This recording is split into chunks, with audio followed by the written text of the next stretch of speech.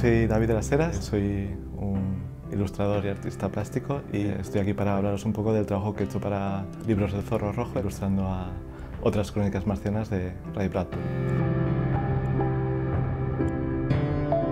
Este libro de Ray Bradbury recoge algunas de las crónicas marcianas que no se publicaron en su día, en las primeras crónicas marcianas. En estas crónicas podemos encontrar un retrato de una sociedad que, aunque está ambientada en un futuro que no conocemos, nos resulta muy parecido y muy cercano.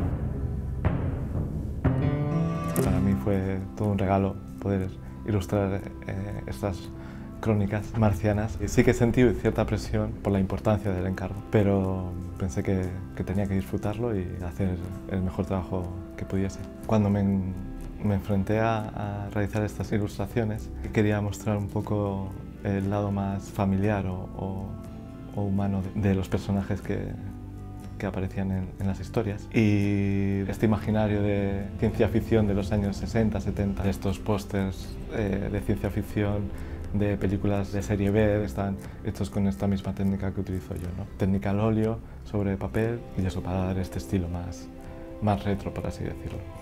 Suelen definir mi estilo como pictórico, realista, quizá porque de alguna manera siempre me ha, me inquietado artistas o referentes que han utilizado la pintura y el retrato como medio de, expresión. Quizá algunos más clásicos como Velázquez o Goya y otros un, poco más actuales, pero ya no tan actuales, como David Hockney o Magritte. Aparte de tener estos referentes, he tenido otros referentes más contemporáneos. Entonces, al hacer una mezcla, eh, creo que mi estilo quizá es una, una ilustración pictórica clásica con, con, toques más contemporáneos y gráficos.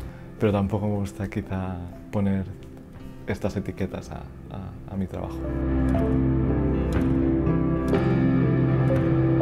Nunca es un mal momento para leer a Ray Bradbury y redescubrirlo de nuevo o descubrirlo por primera vez. En ellas vamos a encontrar todo lo bueno que tiene este autor y nos va a llevar a, a entender también un poco el mundo actual.